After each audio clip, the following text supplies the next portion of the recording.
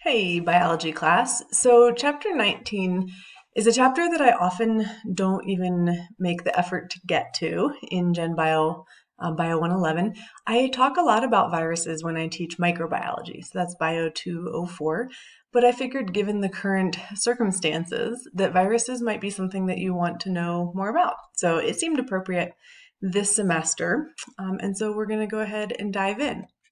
Now, one of the things with viruses is there's a little bit of a debate going on like how do we talk about viruses? What do what do we are they living or are they not living? Like what are these things that cause disease and cause suffering and and all these things? And so really there's kind of these two different camps where uh, some scientists would argue, okay, if you think back to chapter one in our textbook, even, it talks about what life is. And we had all these different properties like uh, displaying order and metabolizing, reproducing, evolving, you know, all these different properties of life. But viruses, so viruses reproduce, but they can't do it on their own, right? They're actually utilizing a host cell to do that. And so, and they don't really metabolize for themselves. They let the host cell do that. So they don't really exhibit these properties. And so that group of scientists would say they're just infectious molecules. Okay, that's one way to look at it. And then other scientists might say, well, yeah, but they direct cells. So there's some really interesting um, examples of how viruses can change their host. They change the DNA of their host. If you actually look at the human genome, large portions of it seem to be viral in origin, right? Things that kind of got dropped off and left behind. And so they're directing cells, maybe even directing the evolution of life. It's, they're more than just this inert, lifeless molecule, right? Like, so you have some people being like, nope, they're an infectious molecule. They're not living. And other people being like, yeah, but this is kind of weird if you think about how they're directing life, right? They're more. Um, so what we'll do is kind of ride the fence on this one. So I would say most scientists would agree that they're not living. They don't truly exhibit um, those properties of life, but they're more than inert, like lifeless molecules. So um, most scientists kind of ride the fence on this one. So here's a definition for you, right? They're infectious particles which are obligate intracellular parasites. Now, if you break that down, obligate intracellular parasite. A parasite has to live in or on a host. In this case, since we're talking about intracellular, that would be within a cell. So they live inside cells and they're obligated to, they have to be inside of a, um, of a host cell, right? So um, we'll go with that as our definition, right? How's that for riding the fence? Okay, so something else I wanted to point out is how tiny these guys are. So what this picture is showing you, and I stole this from my micro textbook, this is this blue cell is a yeast cell, so a eukaryotic cell. It would have a nucleus, organelles, all that. Here are two examples of bacterial cells, very microscopic. If you go up to a thousand times magnification on our microscopes, they look like little dots and rods, like they're tiny. And then the rest of what's on here um, basically are viral viruses. I was going to say cells. They're not cells, right? Um, so 10 is a hemoglobin molecule. So that's a protein. So if that gives you any kind of indication how teeny tiny, what's this one? Um, yellow fever is. Here's a number four is HIV right? Relatively large in the scale of viruses, but tiny, right? These measurements are all in nanometers. So you think about how much death, illness, economic destruction HIV has inflicted, and it's tiny, right? I mean, you could fit hundreds, thousands of those, probably 10,000, in a human cell. So they're tiny. Okay, they're also not very complicated. So a virus basically has an outer covering and a central core. In that central core, we have to have some kind of genetic material. Okay, so nucleic acids, DNA or RNA. Now, viruses are strange in for many ways. They can carry double stranded DNA, they can carry single stranded DNA. Didn't know that was a thing, did we? Um, they can also have single stranded RNA, which is what we're kind of used to. Um, we were looking at messenger RNA, but they can also have double stranded RNA. Didn't know that was a thing either, right? So viruses carry genetic information, but they don't carry a lot. So, for example, again, we said humans have something like 20,000 genes. That E. coli bacteria I just showed you has about 2,000 genes. HIV, any guesses? Nine. Nine genes. So it really only carries genes for things it absolutely needs. Everything else it's going to let the host cell take care of. Okay. Um, some viruses also in that central core will have um, some different proteins that, that they take with them, enzymes. So, for example, not all viruses would need enzymes, but HIV, again, is a good example. It actually has an enzyme called reverse transcriptase because HIV is an RNA virus. It needs the enzyme reverse transcriptase for when it enters a human cell. It's going to take that RNA and, and convert it back into DNA, which our cells will then use. So that would be an example of a virus that needs to have um, an enzyme. Okay, but that's really, that's all that's inside. The outer covering is always made up of a capsid. And a capsid, it's, there's a series of protein called capsomeres, these little proteins that all hook together to make this outer shell around the virus, right? So that's what we're showing kind of here, this outer shell. And then some viruses, not all, but some will have this outer um, called an envelope right? It's a it's a piece of membrane. Notice the phospholipid bilayer. It's a piece of membrane that's actually been stolen from the host cell, either from the cell membrane, um, maybe even like the Golgi apparatus or the endoplasmic reticulum, any part of that endomembrane system. So it's stealing this membrane, and it's actually kind of clever because if you steal a right, so you're like budding out of a cell and you grab a little layer of that membrane on the way out, you're so hidden from the immune system, right? It's your little invisibility cloak um, that you take with you. And so we would call viruses that have an envelope enveloped viruses, um, and those without are often referred to as naked viruses. Okay. So here's a maybe a better picture if you're having trouble picturing that capsid, that outer coat. It's made up of individual proteins called capsomeres. Um, and there, they're showing you a couple of the main uh, shapes here. Where is my pointer? Let's do that, right? Um, this one's called an icosahedral, kind of looks like the Epcot Center. Um, this one over here is crazy. We'll talk a little bit more towards the end of class about bacteriophages. Um, these are viruses that only affect bacteria, um, but they really they look like these little lunar landers. Um, it's kind of crazy. Okay. So then, one of the key things I think to understand um, about viruses is how they go about reproducing. So, what's going to happen here is a virus is going to gain entry into a host cell. And it really can do this two ways. It either needs to attach to the surface of the cell to a receptor and then get allowed into the cell, or it needs the host cell to actually do endocytosis, right, to engulf it and bring it in. So when a virus attaches to the host cell, it uses a protein on the viral surface called a spike. And these spikes, these little proteins, are what then is able to, to dock, to fit on a receptor on the host cell. So, for example, if you've heard swine flu, right, is called H1N1. Or if you go get your flu vaccine, they'll tell you which, you know, it's H3N2 is the, the strain we're giving you this year. Those H1N1, H is a specific spike. It's called the hemagglutinin spike. And that as H1, right? That's going to be a totally different virus than flu that's H3, right? It has a different spike. So um, we use those spikes some for the naming of viruses, but the virus uses them to gain entry into the cell, right? And to find an appropriate host cell. So when you think about like what cell a virus wants to infect, right? Realize we have what's called the host cell range, right? What cells could this virus potentially infect?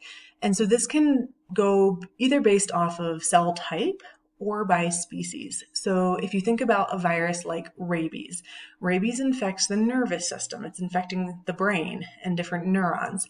And so it's only finding the receptor that it needs on neurons, right? It doesn't attack your liver or your skin. Just the, the neurons have the correct receptor. But many mammals have that receptor on their neurons. So it's not just humans that get rabies, but raccoons and bats, and don't forget about Old Yeller, dogs, right? They have a similar receptor on their neurons, and so the virus can infect any of those. So that's what we mean by host cell range. Um, and that's a little different than, say, like HIV, human immunodeficiency virus. It infects T cells, right? It's only helper T cells, white blood cells in our bodies that have the correct receptor and no other species has that receptor. So, for example, in um, the apes, they get SIV, simian immunodeficiency virus. And there's actually a cat version, feline immunodeficiency virus, but it's different viruses. Their range does not include us, for example, for feline immunodeficiency virus. Okay, so those spikes make a big difference, um, and the receptors on the host cell make a big difference.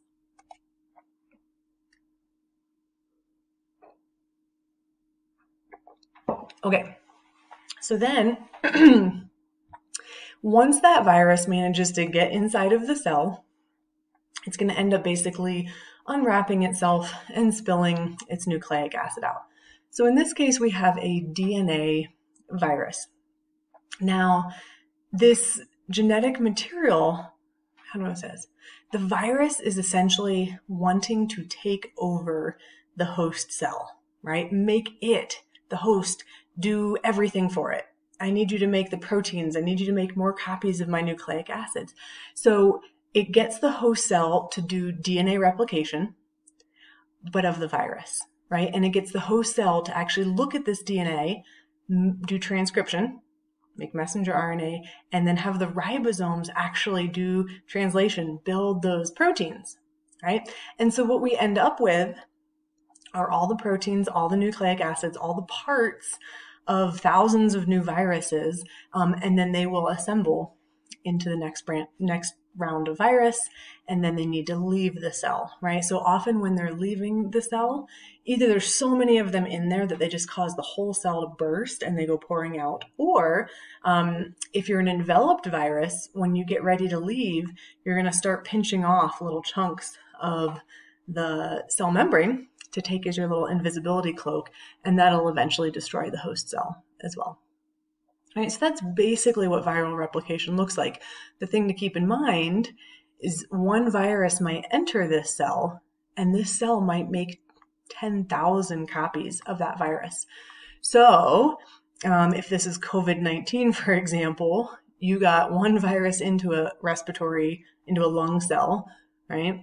Um, and you might get 10,000 out. They're now seeking their own host cell. They're looking for that same receptor um, in other parts of your lungs. So viruses um, can increase their numbers pretty dramatically using this really sneaky technique taken over, taken over the cell. Okay, I did want to show you this one too because this is, um, I mentioned um, how HIV works. So notice here, this is a nice look at um, HIV is an enveloped um, virus. And so it actually kind of fuses back into the host cell. That's how it gets taken in. But notice that it does the same thing, right? It dumps um, its RNA, in this case, into the host cell. And notice these little green dots. It's brought with it. There's that reverse transcriptase I mentioned.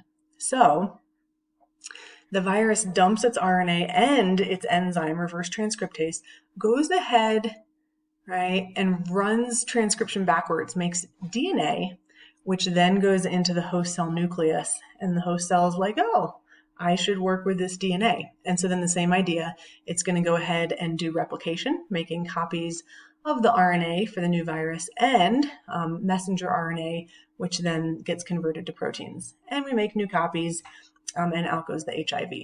and this is kind of cool too. So notice um, the spikes that need to be on the outside of the virus. The host cell, when it makes those proteins, actually transports them to the cell membrane, embeds them in the cell membrane, so they're just ready to go for the virus when it's leaving. This is wild. And this is why people are like, okay, okay, you can't, I'm okay, so they're not living, but you can't just call these like inert molecules. They are doing stuff. Okay. Um, this is the bacteriophage sometimes just called phages or a phage. Um, these are going to be viruses, and this is an actual microscopic image of one. These are viruses of bacteria. They do not infect animal cells, plant cells, only bacteria. And in fact, every bacterial species that we know of has a phage that infects it. So, and again, another microscopic um, image of a bunch of these viruses. Um, docking on the surface of a bacterial cell. So, one of the things, these are probably the viruses that we understand best. Um, they've been a model uh, organism, they've been researched, they have, um, you know, they're easy to grow in the lab, easier to grow in the lab because you just need to keep a bacterial culture instead of like human cells. Um, so, we know a lot about phages. Um, one of the really interesting things that I've heard about with these guys is the potential to use them kind of like antibiotics. So instead of giving someone a drug to say kill um, an E. coli infection, what if you could give the person that phage that's going to attack the E. coli, right? It won't infect the human cells. And so there's kind of a nifty way to get rid of um, bacteria that you don't want. Okay, so bacteria aren't super excited about these phages infecting them. And this is kind of cool. So Notice in this image, the phage doesn't actually go into the host cell. It docks on the surface like a lunar lander, and then it puts out this hypodermic needle and injects its DNA into the host cell. It's not really a needle, but that's what it's like. So we inject that DNA. Now, basically, um, CRISPR Cas9, you guys um, have heard a little bit about. This is how bacteria defends itself. So the way this works, right, is if if a bacterium, you know, generations ago was infected by the same type of phage, right, the same species, um, it's going to have a little piece of that genetic code embedded in its chromosome. And so what we can do here, right, what the bacteria does is it actually makes a little, right, an RNA transcript. This is like pre-mRNA, if you remember that.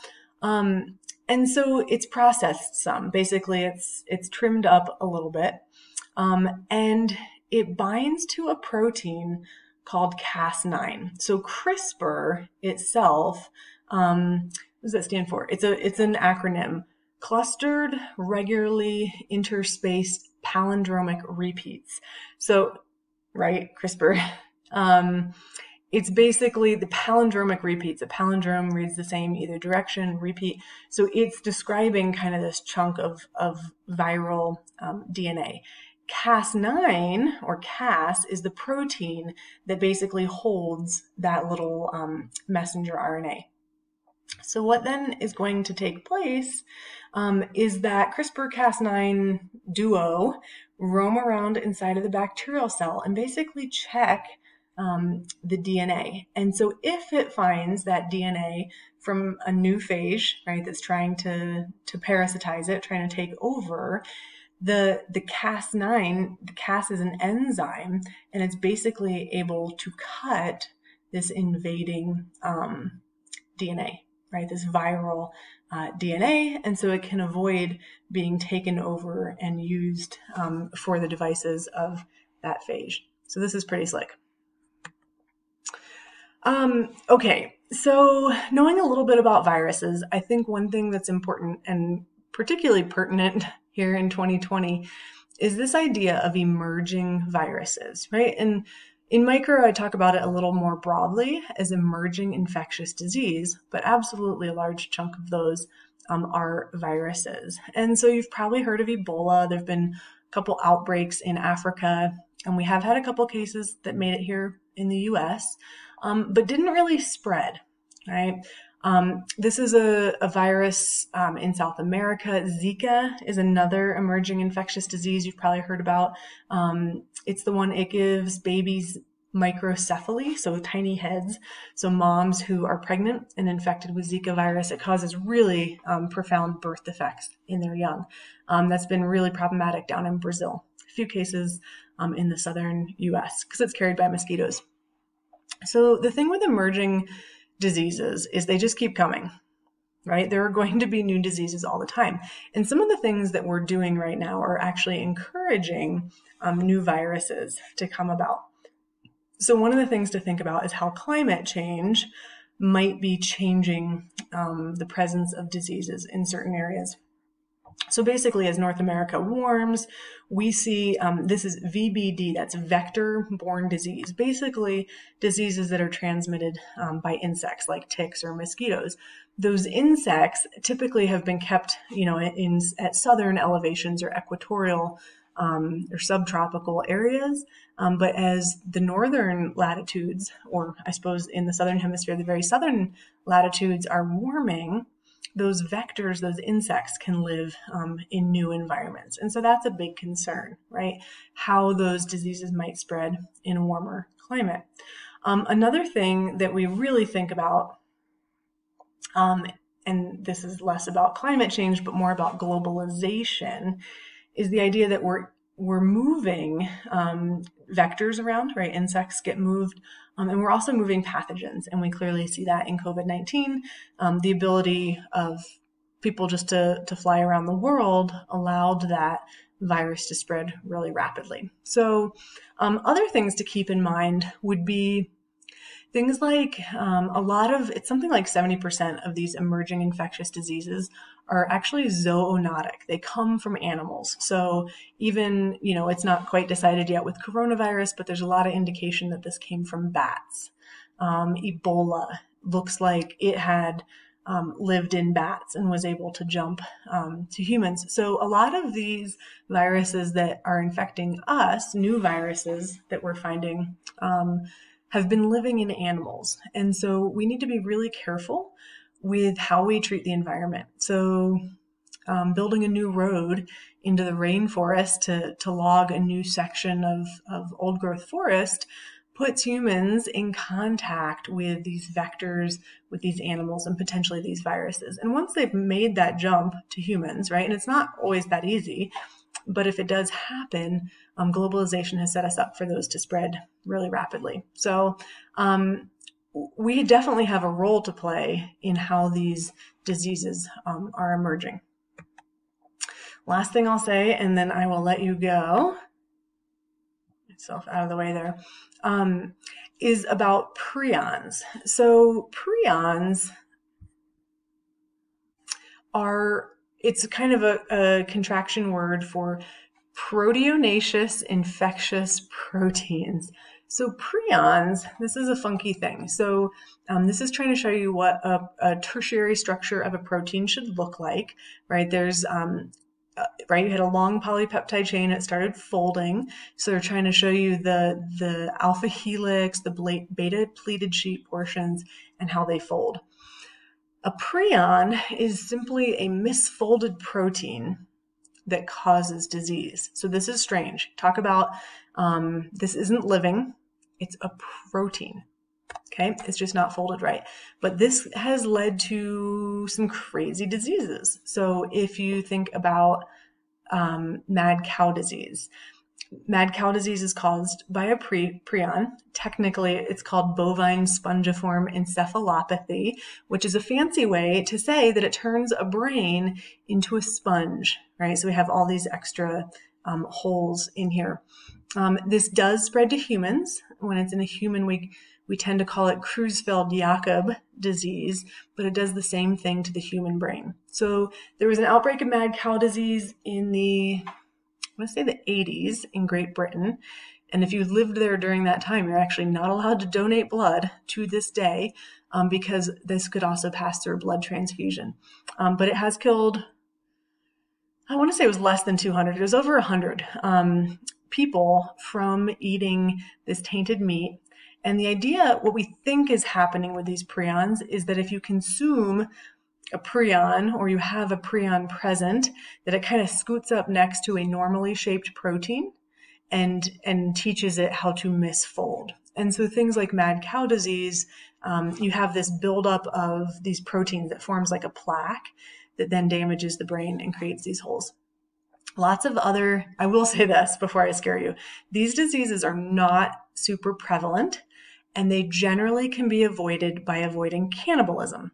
So there is a form of a prion disease in Papua New Guinea called Kuru, and it was found in a tribe who practice cannibalism.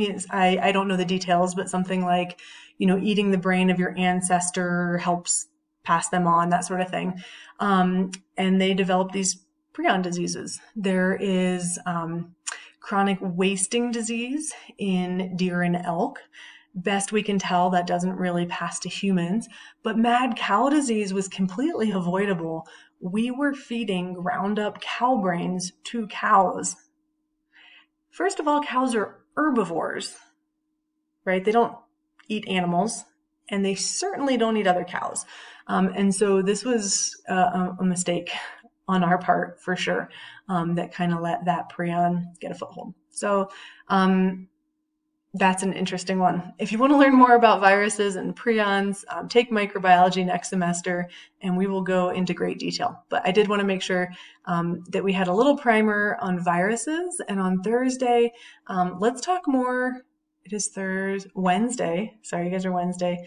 In class, let's talk more about um, COVID 19. See what you guys um, know, what you've been hearing. Um, I'll do my best to share kind of the current research with you guys, and we'll go from there.